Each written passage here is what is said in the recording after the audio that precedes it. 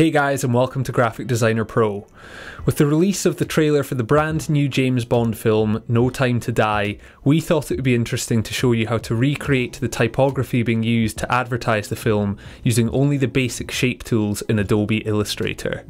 Let's head onto the computer now and we'll show you how to do this. Okay, so here we are in Illustrator, and as usual, you can download this exact same template file from the link in the description and follow along from home. So on our left-hand artboard, we have the vectorized version of the text we're going to be recreating today, and on the right-hand side, we have an official poster for the movie, and this is just a JPEG image that we're going to be using for reference to trace this text and recreate it with the basic shape tools. So as you can see, if I zoom in, it is pixelating, it's not vectorized in any way. And it's also worth noting that we're just going to be focusing on the text, so the other elements within this poster we're not going to be looking at. But do let us know if you'd like to see a video on recreating the whole poster or just poster design in general, and we'll be sure to add that to our list of videos to make. Now before we start as well, it's worth noting that this is actually a font called Futura Black. You can see this is a premium font that you would have to pay for to be able to use in commercial work. And we also noticed that that although they may well have used this font, it looks like they've manipulated it slightly, so things like the letter N and the letter M look like they have been changed slightly to have slightly thinner legs in places, but this is quite common practice for design firms to take a base font and manipulate it and customize it to make it a little bit more unique. So with all that said, we can get started, and the first thing to note is how perfectly spaced all of this is. This is another thing that's always worth noting when we're designing with more simplified objects and shapes, being as precise as possible is always a great idea. And you can see here the spacing between each of the characters and even sections within each character are all perfectly spaced. So there's really nice consistency throughout the type here. So the first thing we want to do is create some guides to adhere to. So the other thing with this text is it's all very similar in terms of the width and height.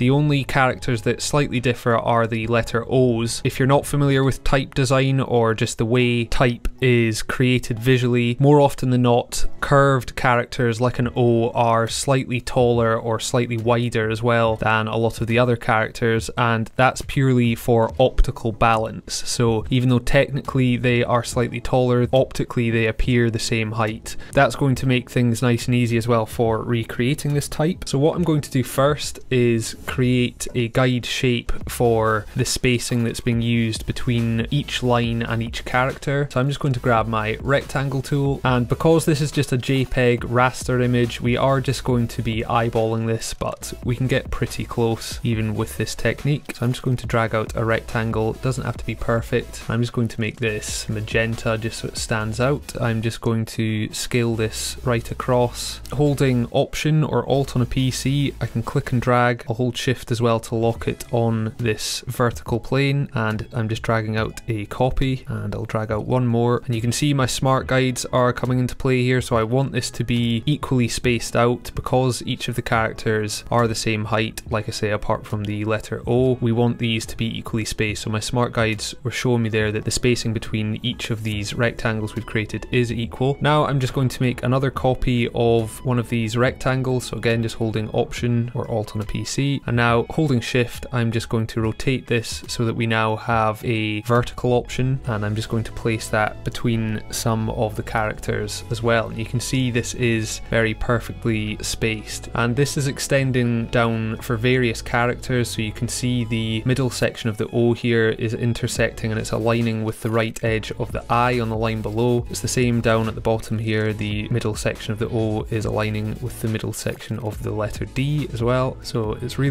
nicely designed this, very very precise. So what I'm going to do is I'm just going to make one more duplicate and just put it off to the side for now because we may need to use it as a guide later on. And I'm actually just going to select all of these and I'm, instead of just keeping these rectangles here, I'm actually going to drag out some guides from our rulers. Now if you don't have these rulers appearing, again, you can go up to view and down at the bottom here we have a rulers option. Now because I already have mine it's saying hide rulers, but if you don't have these enabled you can show rulers as well.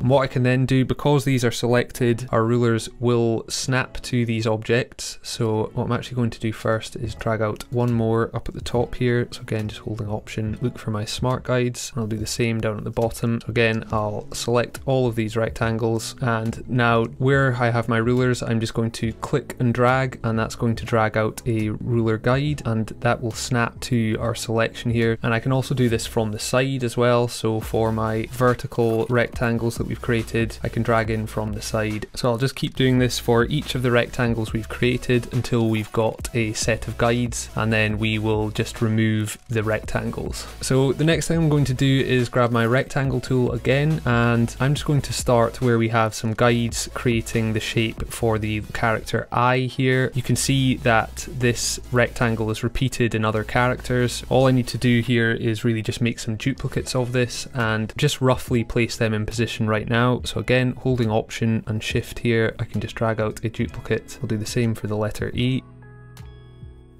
And with the letter D here, because I've got a guide coming down, I can align it with that guide as well because I know that's where it should be. Same with the letter E over here. We'll work on the letter N now. So again, grabbing the rectangle tool, so I'm just dragging out a rectangle to the width of the legs in the letter N here. Again, I can just hold option and click and drag a copy out. Now for the middle section of the N, what I can do is duplicate one of the larger rectangles that we've already created. And now I'm just going to rotate this to try and match the angle of the M. But before I do that, I'm actually going to take the opacity down. So I'll just take it down to about 50% and that way I can try and align it as closely as I can to the angle of our template poster. So I'm just going to right click, transform, rotate. Make sure your preview is checked and I'm just going to bump the up or down arrows on my keyboard to change the rotation here. And I'm just looking to see that the space from the edge of our rectangle to the character on our template file is matching as closely as possible. This looks pretty good. So about 26 degrees, I'll click OK. And you can see we still have our bounding box set to the rectangle, which makes this easy to to scale this up and also adjust the width slightly and match it up with our template as well. So that's why I choose to do it this way. I'm going to grab our other two rectangles for the letter N and drop the opacity of them down as well. And that's just so, again, I can see through to our template. And we obviously have these cutout areas. And this is why I kept a copy of our initial rectangle. So this is set up at the size that we wanted to space everything out at. And now I'm going to position this so that we can create cuts that are the same same width as the rest of it. So again, I'm just going to right click, go transform, rotate. This is already going to remember what we just set, so it's 26 degrees already, which is perfect. Click OK. I'm actually going to change the color. I'll just go with a cyan, just so we know that this isn't part of the character. This is to be knocked out from our existing shapes. Now this is where it can get a little bit complicated in terms of the appearance. So what I'm going to do is switch to my outline mode, which is Command Y, and that's just going to show our paths. So I want this to essentially align with our angled rectangle here. So the best way I've found to do this is to click off our shape and then hover over it until it highlights over one of the anchor points. So I'm going to align the two corner anchor points here and I'm just going to click and drag and it should snap. And now I want to do the same on the other side. So I'm just going to hover over this again, hold option or alt on a PC, click and drag and we'll do the same on this side. Press command Y again to go back to our normal view. The last thing I'll need is a shape to cut off the extending section of our angled rectangle here. So again, I'm just going to grab my rectangle tool and I'll just drag out a rectangle over the top. Again, making sure I'm aligning with the guide here and then the same on the bottom as well. So I know this looks a little bit messy, but this is just ensuring that we get a precise end product here. So I'm just clicking and dragging over all of these elements we've just created and then I'm going to use my shape builder tool. So shift M is the shortcut or you can find it over on the left hand side and I'm just going to hold option and remove the sections that we don't need. So I'm just clicking and dragging over each section that we don't need here or you can just click once in the area that you don't need that will also work and there we are left with our letter N. can bring the opacity of this back up. So moving on we've got the letter O here and like I was saying before this is the only character that is extending above the the height of the other characters. But to recreate this I'm just going to grab our ellipse tool and I'm just going to look for the smart guide that shows me that we're aligning to the center of our letter N. And then I'm just going to click and drag and hold option or alt on a PC that means it's going to scale out from the middle. And you can see this isn't a perfect oval so I am going to have to slightly manipulate this but I'm just looking to try and match the general height of it and the width. Now I'm actually going to grab my anchor point tool. So if I click and hold on the pen tool we have the anchor point tool within here. And then I'm going to hover over the left hand anchor point and just click and drag and holding shift this means that the curve is going to be applied equally on either side and I'm just going to try and align our new path so it's slightly closer to our template. And don't worry we're only applying this to one side but what we're going to do now is grab the rectangle tool again, we'll click and drag and align with our guideline here and then we're just going to use our minus front option within our Pathfinder panel. Again if you don't have any of these panels they can all be found up in the window menu. So down here we have Pathfinder and we're just going to click minus front and that's just going to leave us with one half of the O. Hold option to click and drag out a copy. I'm just going to align that with the left edge there and then over in my properties panel I can just flip this along the horizontal axis. Again if you don't have a properties panel you can access this from the window menu. So the only thing I need to do is make sure that the right side of the letter O is aligning with our guideline there and now what I can do is select both sides, press Command G or Control G on a PC to group them together and now what we can do again is holding Option or Alt on a PC I can just copy this O that we've created and drag it down to the other example of the character. And all I'm doing here is making sure that it aligns with the rectangle on the left hand side, align it up with our guides here. I'm just going to double click into our group here and I'm just going to press Command C to copy the right hand portion of the letter O. I'll double click out and then I'm going to press Command F to paste it in place. Now holding shift I can just drag this down to align with the rectangle on the left hand side for our letter D. Now you can see for this letter it is actually actually too tall. So what I need to do is skew this down. So I'm just going to hold option and click and drag the top handle so that we can get this aligned. I'm going to align it to our guides again and that should work nicely. Now I forgot to create a rectangle for our letter I here, but I can just simply drag out another duplicate.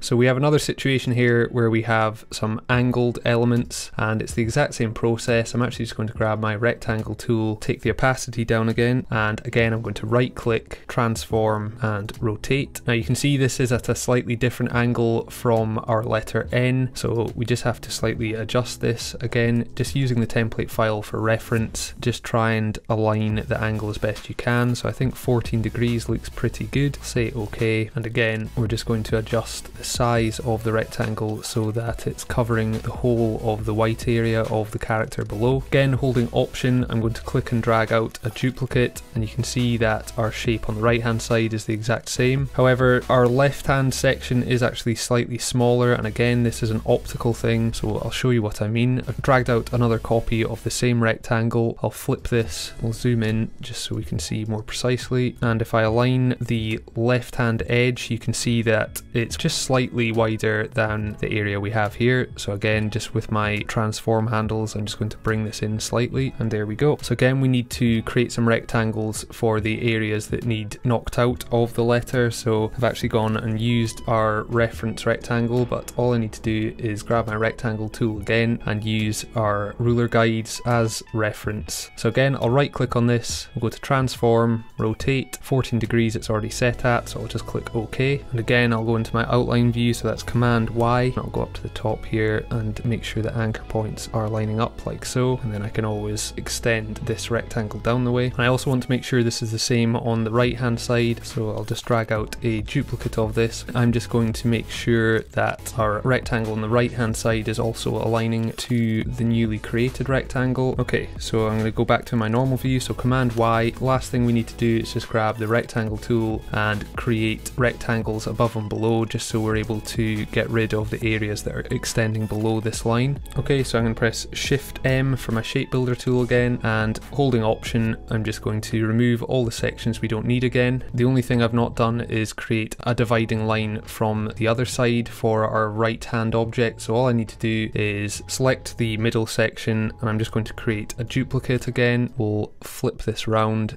just with our shortcut in our properties panel and then I'm just going to position this just eyeballing it roughly. And then I want to make sure our duplicated object is sitting above the object on the right hand side. So I can right click, go to arrange, bring to front, select both, and then I'm going to use the minus front option in our Pathfinder again, and that will just remove that area as well. The last bit I need to do is just get rid of the areas beneath. So selecting them all again, press Shift M, holding Option, and just dragging across all of these sections, and that should get rid of all of them, just like that. Okay, so the last thing we need to deal with are the triangle shapes within some of the characters. For this, I'm actually going to use my rectangle tool again. Now we could use the star tool or the polygon tool and create a triangle that way. However, for this, I actually find it easier to use my smart guides. I can align to the left hand side, drag out a rectangle to the same height and width as the triangle, then press A on my keyboard for my direct selection tool. I'm going to select the bottom right hand anchor point and just click the remove anchor point option and we're left with the triangle that we need. Then all I need to do is duplicate this, so again holding option and dragging, and flip this and use my guidelines again just to snap this in place. I want to make sure that the rectangle is sitting perfectly between these two triangles, so I'm just going to select all three and use my align options up in my control bar just to make sure that it is sitting perfectly between the two. Again, what I can do in this example is click and drag over these three objects, group them with Command G, holding option, create a duplicate, and I'm actually just going to delete our rectangle on the T below and drag our new T in place. And we can do the same with the letter E once we've finished. So I'm going to use the same technique for the triangles above and below. And this is another unique one where we have an example of optical balance. So I'm going to drag out another rectangle here, press A for my direct selection and remove the bottom left anchor point. Now you'll see if I create a duplicate of this, so holding option, click and drag, and we'll just flip this. You can see that this is much smaller than our template. This is just for optical balance. So I'm just going to adjust the height of this one and I will actually grab my polygon tool for our triangle in the middle here. If I click and drag, now I've already set up a triangle. You may well have an actual polygon like this and all I'm doing is using my up and down arrows on my keyboard to change the number of sides. So I'm going down to three sides and again if I hold shift that's just going to lock it to this horizontal plane like so. I'm going to rotate this 90 degrees so again just holding shift and dragging around it we can rotate this. This is actually aligning to the center of the rectangle on the left hand side so you can see that this actually isn't perfectly centered against the rest of the characters as well so this is some more example of the optical balance coming into play but I can just easily adjust the size of this to match and I think that will do. So again I'm just going to delete the rectangle on our letter E below. I'll select all of the objects from our letter E that we've just created, Command G to group them together and then I'll drag out a duplicate holding option and